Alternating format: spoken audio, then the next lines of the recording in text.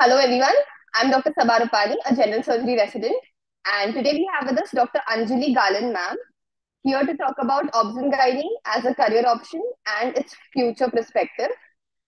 Dr. Anjali ma'am has done her MBBS and MS obs-gynae from VMMC Safdarjung, New Delhi.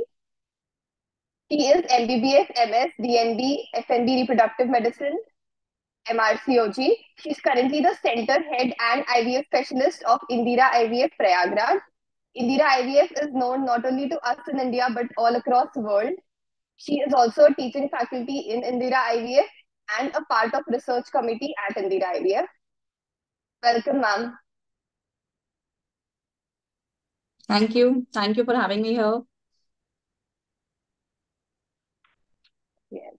So we will talk about obs-gynae as a career option for all the aspirants who wish to take obs-gynae and have questions about it. So, ma'am, let's start with what made you choose obs-gynae as a career option. Uh, when I was doing my internship, actually, I wanted to take anesthesia, but uh, then um, uh, many of my uh, like the seniors, uh, when I did my labor room posting, uh, during my internship, then I liked uh, started liking this subject because we were actually dealing with two lives.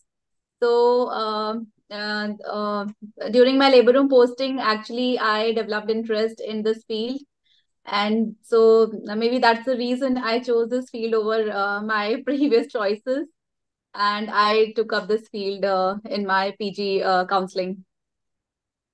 Okay, that is really nice, and you have achieved a lot in it. So I think that was a very right decision to take. Yeah, and actually, uh, after I took this branch, uh, I never looked back. You know, people used to cribble a lot about this field, but uh, I thoroughly enjoyed my PG, my as residency, and then my fellowship days. And then when I started working in Indira IVF, still uh, like every day we are facing challenging cases and uh, like we are into research also so uh, i love my field i love my, my job i uh, love uh, being you know innovative. You know i love to do new new things and i just want to excel in my and i still feel that there's a lot more to learn. Like uh, it's not a static field at all, at all. Especially the infertility the ivf this is like a subspecialty of uh, obs and gynae and this field has so much to offer and there is so much to you know unlock and unveil. So uh, i totally love my job and my profession and uh, i would i would love to say that i um, would advise all those like uh, the pg uh, the postgraduate uh, aspire aspirants to take up this field and explore this field. Yeah Okay, ma'am. So uh, let's go a little bit to your PG days of how they were. How was obs-gynae? Is it very, very hectic, like they say, or is it doable if you like the branch with all the labor coming in the middle of the night and all the emergency cases and everything? Uh, I think uh, like the the PG uh, the PG of all the specialties. In fact, you you are a surgery res, res, yes, resident and you must be having very hectic schedules so it's like uh, we are when we are doing our PGs, generally we are very young and we are full of energy. So it really doesn't matter. Like we can do the labor room whole like we are we are able to wake up uh, like we we are awake whole night and we are like you know catching babies here and there so definitely obstetrician gynae in a busy uh, tertiary uh, uh, hospital like Safdarjung it was very hectic and at our times we were like limited number of postgraduates so we had to do uh, like 15 night shifts in a month. But we loved it we because we had that energy and we loved doing our job. So i never felt that you know i'm overworked or overburdened and i thoroughly loved it. It's it depends upon your colleagues like how what are your rapport with them. And uh, what is your rapport with your seniors? And if you are hardworking and if you don't say no to any any like anything so generally the things are things, things were good only. I never regretted that you know it, it's so so hectic and uh, i should have i should have taken this field. But yeah i loved it. I loved uh, all yes, the night. I think everything sense. every call will yeah yeah, that's what you I said makes something. sense. Even I say this that when we are interested in something, it's not only obs and gynae, but any field in medicine or anything outside as well. If we want to achieve something great, then we have to put in the hard work that is required. Yes. So it is not limited to exactly. a particular branch, but everywhere Actually, else. there is no there is no shortcut to hard work.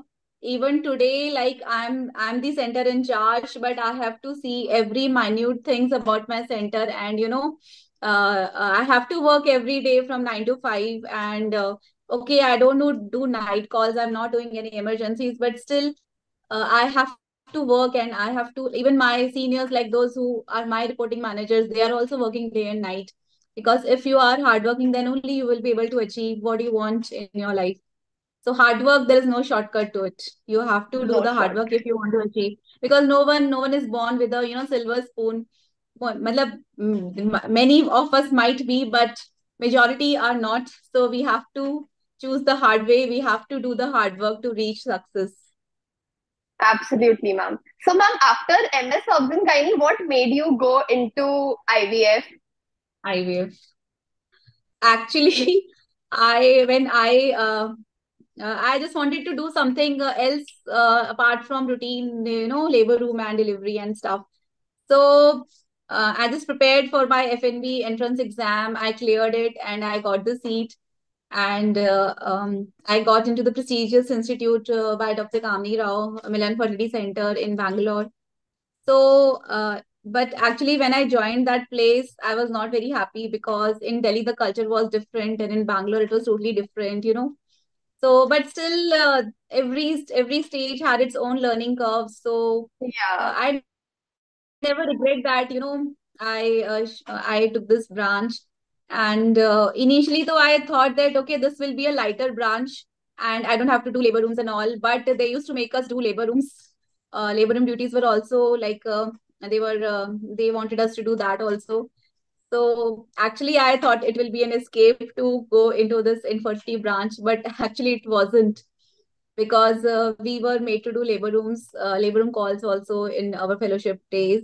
But still, I thoroughly Ma'am, loved that it was just for a brief period of time. And as of now, after that, now that you are a consultant, it is only IVF and no labor and C-section, right? Yes, yes, yeah.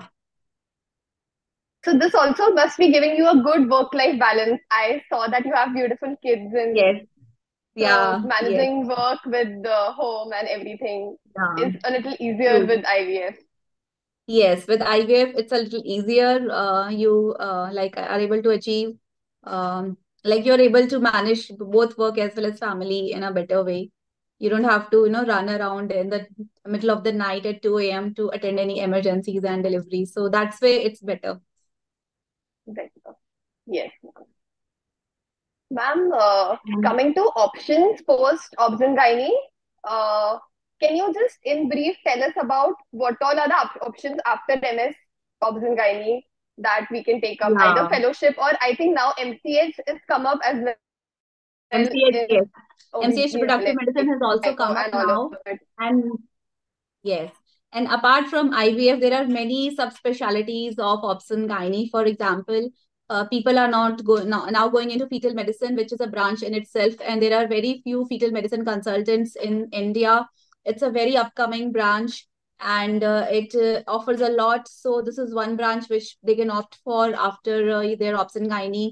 Then they can go for a laparoscopy, like they can become a dedicated laparoscopic surgeon. And uh, although it ha- it has a long learning curve, but still it's like very good. You can dedicate yourself to a laparoscopic. Uh, um, you can be a laparoscopic surgeon, dedicated laparoscopic surgeon. Then obstetrician obs and is there. It is like the bread and butter of all the obstetricians. Then there is a they can also go for urogyne, like urogynecology, uh, with all the stress incontinence, all the fistulas, and all the uh, like uh, incontinence surgeries, uh, prolapse surgery. So that is again a dedicated branch in itself. Many of the doctors are now now going for a uh, urogyne uh, subspecialty. Then they can also go for a cosmetic gynecology. It is again an upcoming branch uh, subspecialty. Uh, it's about vaginal rejuvenation surgeries, and you know, uh, it's like uh, um, it's upcoming, like just started in the last two three years, and people are all going for that also, cosmetic gynecology. Then they can also go for uh, gynae oncology, in which they can just dedicate themselves to the cancer treatment. So these are the subspecialties uh, uh, which they can opt for. Like they can just dedicate themselves to one of these branches if they don't want to do a routine obstetrics and gynae. Obstetrics but um, and gynae. many of the doctors are like you know they are um, they do everything starting from obstetrics and gynae surgeries and laparoscopy and uh, then it becomes like little hectic for us for them little but uh, yeah little hectic but, but i think with what you said yeah so i think with what you said it is very clear that if anybody is interested in obs and gynae there are so many options ahead that later on yeah. we can choose our yeah. niche of what we want to do so there are a exactly. lot of options like surgical options as well as medicine options. So that can be decided yeah. later on. So gynae gives that like one thing that really intrigued me was fetal medicine and fetal surgery, which is very rare in India. And that is when I understood exactly. if you are interested, then you can take up obs and gynae and later on choose your specialty. So I, I, ended up taking up general surgery because I was more towards the surgical side. But otherwise, having said that, gynae is a very beautiful branch which gives you deal with two people at a time, the mother and the baby, and the feeling and warmth of it, which is, I think, very nice. Yeah, and then you can also go into research. Like uh, there are many, uh, eh, but research is like it goes hand in hand. It is not a subspecialty, but yes, you can be a part of it. If you are working in a big institute, then you can also like be a part of their research team. That also like you know uh, gives you a good, uh, uh, I would say, good feeling that yeah, yeah you are in research feeling. Yeah. Yeah. Yeah. And then one very important question that a lot of people have and is not very clear out there is mrcog and when should it be given and what is the preparation material for it? Yes. So mrcog uh, basically uh, uh, if you are you have done mrcog then you can go for a residency in uk you don't need to clear PLAB uh, they will directly take you as a resident. And uk is also uh, like it's a good place to work with good ethics and good work culture. You can like you can uh, switch your um, like uh, city. And uk uh, offers a lot because they are obviously way ahead of us in uh, many of the branches and uh, MRCOG, you can start giving from your PG days itself. Like you can give part one uh, in your maybe in your first year of PG if you are dedicated and you want to have another degree. And part two, again, you can give after you have cleared your uh, PG. Uh, but again, uh, this MRCOG is, I would say that it was one of the toughest exams that I cleared because actually I gave it after I had my daughters. So it was very difficult to find the time to read. But then there are various study groups which you can join and they will give you study material and they will, you know, take your classes and these classes generally they take at the night time when you are relatively free so you can like uh, join these classes and their uh, curriculum is actually totally different from our routine OBGYN curriculum. Uh, their guidelines are totally different. We have to mug up the guidelines. We have to mug up their, you know, percentages and everything. So MRCOG was the difficult exam, which I cleared. And then there is another European board exam, EBCOG, EBCOG, this is again, eh, they need a, a, training of four years. So after you have cleared your MD and you have done one year of residency, you can go for EBCOG, EBCOG exam. You can also give MRCPI. There are many exams like if you want so many degrees behind your name, then you can just keep on collecting these degrees by giving exams. And uh, then uh, if you are interested in infertility and you have like, if you have cleared MRCG, then you can also go, go for an ESHRE fellowship that is EFRM. So that's another like kitty in your uh, in your degrees. So there's no end to it. Yeah, there's no yeah, end to it. It's a never ending list. Okay. Never ending, yeah. Okay, never ending. Uh, but ma'am, if somebody doesn't wish to go to UK, MRCOG will still add to the degrees and yes, the hold exactly. that we have here, right? Yeah, yeah, yeah. You will get better job opportunities. You have these additional degrees. You know, you'll get you'll get a better placement. Okay, ma'am. And then lastly, any message for people who wants to take up gynae or are doing uh, and and later on plan to do specialty? Yeah, I would say that it's a beautiful branch, but yes, it needs hard work and dedication, and it needs you to be 24/7 on your toes, especially during your residency days. Uh, and um, uh, it has a lot to offer So after doing your PG, you can ex just explore this field, the subspecialties, and if you're interested, then you can choose one of them.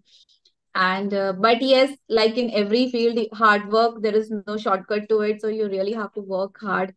And um, I love my branch. Uh, uh, whenever people will say that, you know, uh, you have uh, you have become successful in a very short span of time uh, I always tell them that uh, I did not have Adani or Ambani surname, you know, behind my name. I have really worked hard for it. And uh, people say that you are lucky, but I won't say that I'm lucky. I have really worked hard to achieve whatever uh, I am at this position today. So that's it. There is no shortcut to hard work. In fact, uh, when I had my second daughter, uh, I worked for the entire nine months. I did not take a single leave and uh, she, I had luckily a normal vaginal delivery. So after delivery, I joined my hospital in, an, in just 13 days. Like she was just 13 days old when I joined my hospital because because I thought that you know my hospital needs me. So I joined it like uh, within 13 days of uh, my delivery. Because I had a normal delivery and I I luckily you know I got a very good nanny for her. So uh, apart from husband you need a very good nanny to support you like who can take care of your kids like her kids. And uh, that contributes to your success. If you don't have good support system in your house then maybe uh, some women like some some gynecologists they're not able to achieve they want to achieve but because of the support system you know they're not able to uh, they do maybe they don't have the support system. I'm i was blessed to have you know good nannies with me who are still there uh, to take care of my daughters. And that actually i would say that half of the credit goes to them because they take they took care of my daughters so well that i could concentrate on you know my uh, uh, extra exams which i gave so i always tell them that yes. the credit goes to you also apart from husband so i think a very big learning that yeah Apart a very big learning that we have got uh, from what you said is a hard work has no other option. It's only the tip of the yes. iceberg that is visible to people, but the amount of exactly. nights and the amount of hard work that we put in is only known to us. Having said that, like you said, a very big support system is required for the field that we have chosen.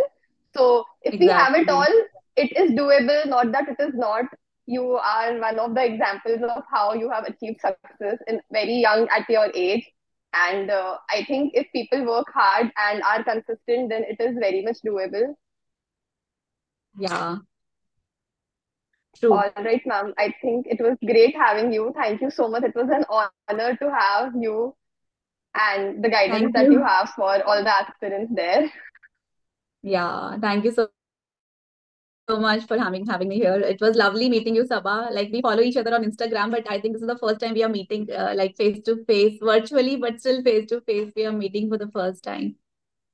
It yes, was ma'am, great talking to you. Yes, ma'am. I would love to catch up with you in case ever I come to Prayag Prayagraj. It would be an honor to meet you in yeah, person yeah, yeah, as well. It's a holy city. It's a holy city. There are like it's a, there's a sangam in which all the three rivers like they meet up, and you can see the line. There's a clear demarcation that this is Ganga and this is Yamuna. So mm. that is the only like uh, the only um, beauty about this city is that it's a holy city. Like I have my co-PG from there. She's proper from oh. there, so she keeps talking about it. And when I told her about you, she was very excited, and she's waiting for. Oh like she's waiting to see the video. Oh, nice, nice. All right, ma'am. Thank you so much, ma'am. It was great having you. Thank Have you. a nice day, ma'am. Yes. Thank bye, you. Have a great evening. Bye. Bye. Bye.